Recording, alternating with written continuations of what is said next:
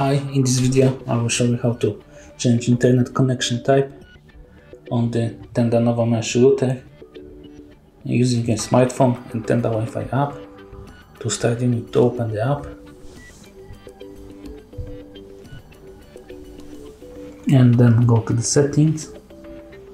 And go to the internet settings and there you can change the connection type.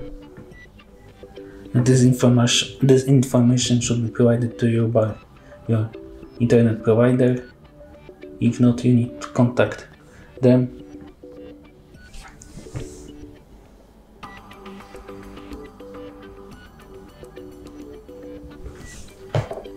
Thank you for watching. If you like this video subscribe to our channel and give us a like